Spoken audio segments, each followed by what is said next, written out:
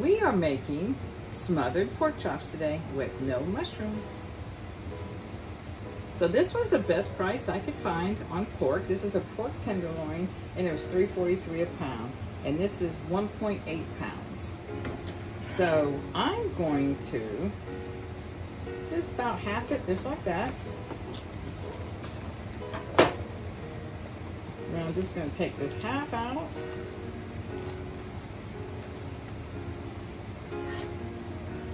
And I'm gonna do like medallions, I guess, then.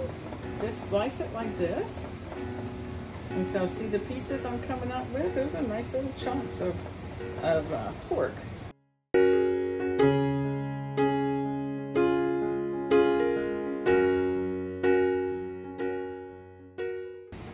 Very nice, very, very nice.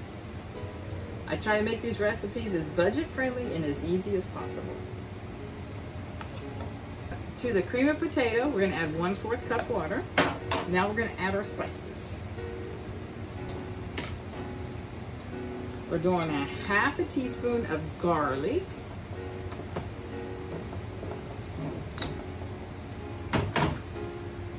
A half a teaspoon of black pepper. A half a teaspoon of crushed rosemary. Great flavor. Rosemary gives great flavor. And then a half a teaspoon of ground mustard that I'm almost out of.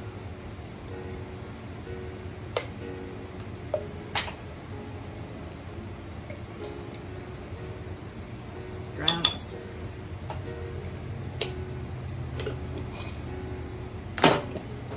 Then we're doing a fourth of a teaspoon of salt. Don't over salt this. You can always salt when you're eating, right? And then one fourth teaspoon of cumin. I know what you're thinking, but it's really good.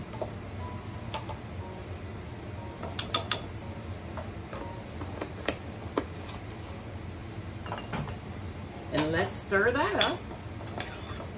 Okay, we're gonna add our pork pieces. This has ended up being 13 ounces of pork. Probably don't need to put that much in there.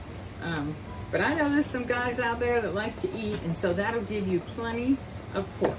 And so when this is done, then we are gonna serve this over rice. Or you could serve it over spaghetti squash um, if you're doing low carb. Um, very versatile what you do with this. Um, you can serve it over mashed potatoes. To this, we're adding a half a cup of green frozen green beans. I thought a third would be enough, but I, I want to put it up to a half. Okay, I decided to add a diced carrot. Mix it up really well. That looks delicious.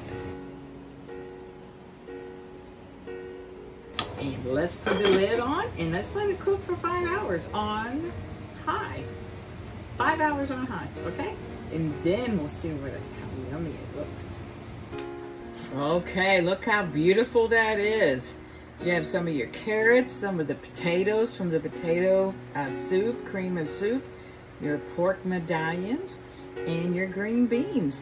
And I put a few sliced fresh tomatoes and a few uh, green onions from our garden. And so let's see what this tastes like. Let's get a little bit. And then just a little piece of meat. So I got some carrots, rice, meat. Mmm. That is wonderful. You gotta try this recipe. Take care. See you next time. Bye. Mm, mm, mm, mm.